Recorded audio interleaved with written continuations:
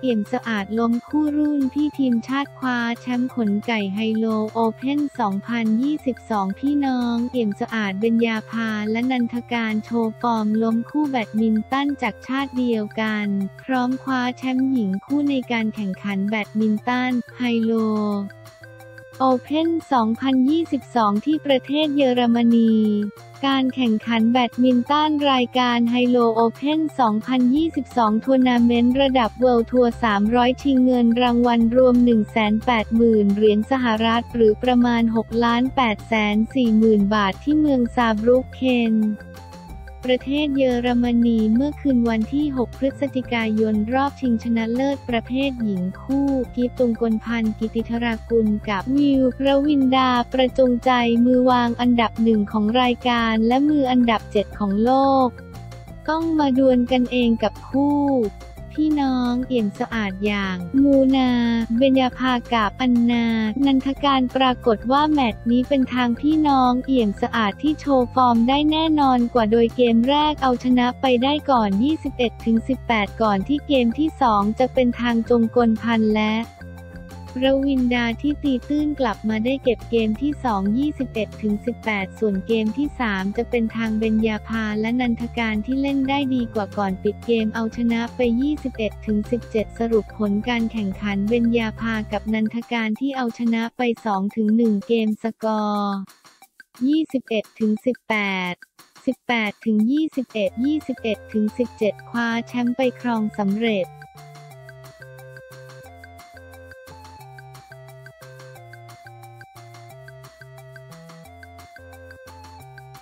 ดีเจ พุทธสแตนบายรอจุ๋ยคลอดวางแผนพักงานอยากเลี้ยงลูกเองปลายเดือนนี้ภรรยาสุดที่รักจุ๋ยวรัตยาคลอดว่าที่คุณพ่อดีเจ พุทธพุทธิชัยเกษตรศิลป์ตื่นเต้นหนักเตรียมตัวสแตนบายพร้อมเผื่อยามฉุกเฉิน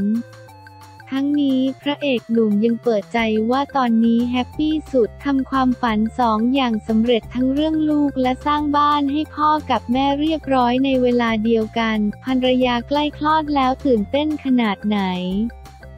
ตื่นเต้นมากๆครับ เป็นเดือนที่เรามีกำหนดคลอดน่าจะช่วงปลายปลายเดือนครับ ถ้าไม่มีอะไรฉุกเฉินเกิดขึ้นมา ตอนนี้เตรียมตัวยังไงบ้าง ตอนนี้ก็เตรียมจัดกระเป๋าไว้ เผื่อฉุกเฉินเราก็จะได้พุ่งตัวออกไปได้เลยครับ และพยายามไม่รับงานที่ไปต่างจังหวัดไกลๆ หรือว่าค้างคืน เพราะกลัวเผื่อมีอะไรฉุกเฉินจะได้พาเขาไปที่โรงพยาบาลได้ทันเวลาของที่เตรียมไว้เยอะไหมไม่เยอะๆ ก็ถามคนที่เขาเคยมีลูกมาก่อน มีเสื้อผ้า ลูกเสื้อผ้าตัวเอง ตรงตามกำหนดการที่เราดูเลิกมาไหม จริงๆ ก็ดูไว้มีประมาณ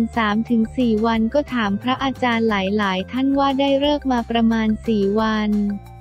แต่สุดท้ายก็ต้องขึ้นอยู่ที่ตัวลูกด้วยว่าเขาจะมาวันไหน แต่เราก็กระจายกระจายไว้ในช่วงปลายเดือนเป็นการคลอดธรรมชาติหรือผ่าคลอด ผ่าคลอดครับสี่เลิกเวลาต่างกันไหม ก็จะใกล้ๆกันในแบบที่เขาให้มา แต่วันอาจจะเฉลี่ยเฉลี่ยกันไปครับ จุ๋ยตื่นเต้นขนาดไหน จุ๋ยก็ตื่นเต้นครับ ตอนนี้คุณแม่เขาก็อุ้ยอ้ายมากๆ ถ้าเป็นไปได้ก็อย่าเดินเยอะช่วงนี้ก็จะมาเจอคุณหมอแทบทุกวีคเลยครับบำรุงกันหนักขนาดไหน คุณจุ๋ยก็จะหิวทุกๆสองชั่วโมง หิวบ่อยหน่อยคือเราเพิ่งกินข้าวกันผ่านไปสองชั่วโมง เขาบอกหิวอีกแล้วเรายังไม่ย่อยเลย แต่คุณแม่เขาก็ต้องกินสองเท่าเผื่อน้องที่อยู่ในท้องด้วย การใช้ชีวิตในช่วงนี้เป็นยังไง ตอนนี้คุณจุ๋ยก็ต้องนอนตะแคง เพราะนอนราบไม่ได้ก็ต้องนั่งนอนมาเป็นเดือนแล้วครับ สงสารอยู่ครับ เพราะเขาไม่สามารถนอนลงไปได้ เพราะมีกดไหลย้อนดันขึ้นมาพอนอนตะแคงก็เจ็บซี่โครงก็เลยต้องนั่งนอนวันแรกๆที่เขาต้องเปลี่ยนมานั่งนอนเขาก็นอนไม่หลับ เราก็สงสารเพราะนอนได้แค่ 2-3 ชั่วโมง แต่พอผ่านเวลาสักอาทิตย์หนึ่งก็ค่อยๆ ปรับตัวได้ก็เริ่มนอนได้ดีขึ้นครับ เราต้องนอนท่าเดียวกับภรรยาเลยไหม ไม่ได้นอนท่าเดียวกัน ยิ้มเรานอนท่าปกตินี่แหละแต่ทุกครั้งที่เหลือบตาไปมองเราก็จะบอกเขาว่าเธอเหมือนคนไม่ตั้งใจนอนเลย มีการเปลี่ยนแปลงทางด้านอารมณ์ไหม ไม่มีเลยครับช่วงนี้คุณแม่เขาก็อารมณ์ดีเฮฮา สนุกสนานครับห้องที่บ้านเตรียมไว้เรียบร้อยใช่ไหม เรียบร้อยครับมีครบทุกอย่างแล้วครับ สัญชาตญาณความเป็นพ่อเป็นแม่มีมากขึ้นขนาดไหน มีครับเราก็คิดถึงอนาคตว่ากำลังมีอีกหนึ่งชีวิตที่กำลังจะเกิดขึ้น อะไรที่เราคิดถึงแต่ตัวเองคิดถึงกันและกัน ก็จะเปลี่ยนเป็นคิดถึงลูกที่จะเกิดมาว่าเราจะเลี้ยงเขายังไง เขาจะเรียนที่ไหนจะยังไงเหมือนเราคิดถึงอนาคตของลูกมากขึ้น เวลาพูดถึงลูกสายตาเราเปล่งประกายมาก ยิ้มมันเป็นสิ่งที่พูดกับจุ๋ยตั้งใจมากๆ ที่เราอยากจะมีลูกกันที่เราตัดสินใจแต่งงานกัน เพราะเราอยากมีลูกเลย และอย่างที่ทราบกันว่าพอร่างกายเขาเราสองคนไม่พร้อม ใช้เวลาในการต่อสู้ที่จะมีลูก เกือบจะไม่มีแล้วเกือบตัดใจกันไปแล้ว แต่สุดท้ายเราก็มีได้จนใกล้จะคลอดแล้ว ก็เลยเป็นสิ่งที่เรารู้สึกดีเป็นของขวัญที่ใหญ่ที่สุดในชีวิตที่ผ่านมามากๆเลยครับไข่ที่ฝากไว้ยังมีเหลือไหม จริงๆ มีน้อยมากๆเลยครับ ถามว่าถ้ามีได้อยากจะมีอีกไหมใจก็อยากจะมีอีกสักคนหนึ่ง แต่ก็ต้องดูร่างกายของจุ๋ยด้วยว่าหลังจากที่คลอดน้องแล้วร่างกายเขาจะเป็นยังไงบ้าง ก็อาจจะต้องไปปรึกษาหมออีกทีหนึ่งด้วยครับ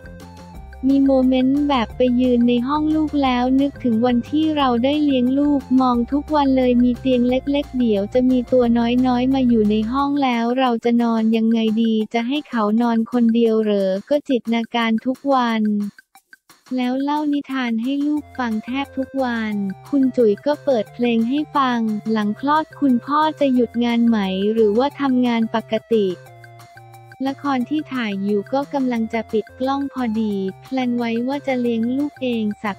2-3 เดือนก่อนเดี๋ยวปีหน่าจะกลับมารับละครช่วงประมาณเดือนมีนาคม ชื่อใช้พีเจเลยไหม ใช้พีเจเลยครับ ตอนแรกเรียกกันเล่นๆไปก่อนพีเจน้อย พอเราทำคลิปลง YouTube ทุกคนก็ติดไปแล้วว่าเป็นน้องพีเจชื่อเล่นก็กะว่าเป็นน้องพีเจนี่แหละ ส่วนชื่อจริงยังไม่ได้เลยครับ แต่ว่ามีไว้บ้างแต่คุณแม่เขาเป็นคนเลือกเราจะเข้าห้องคลอดด้วยไหม ผมไม่รู้ว่าเขาจะให้เข้าไปด้วยไหม ถ้าเกิดเขาให้เข้าไปได้ก็อยากที่จะเข้าไปให้กำลังใจเขา เพราะว่าเขาก็ทำเพื่อลูกทำเพื่อเรามาเยอะมากๆ ถ้าเขาให้เข้าไปได้ก็อยากเข้าไปให้กำลังใจเขาครับดูตอนนี้เราประสบความสำเร็จในเรื่องของครอบครัว ทั้งลูกและก็สร้างบ้านให้พ่อแม่สำเร็จแล้ว มันเป็นช่วงเวลาที่มีความสุขมาก มันเป็นสิ่งที่เราใฝ่ฝัน มันเป็นสิ่งที่เราตั้งใจ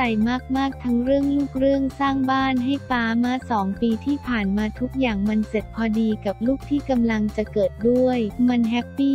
มากๆกับสิ่งที่ตัวเองได้ทำอย่างตั้งใจ เราต้องไปแก้บนที่ไหนไหม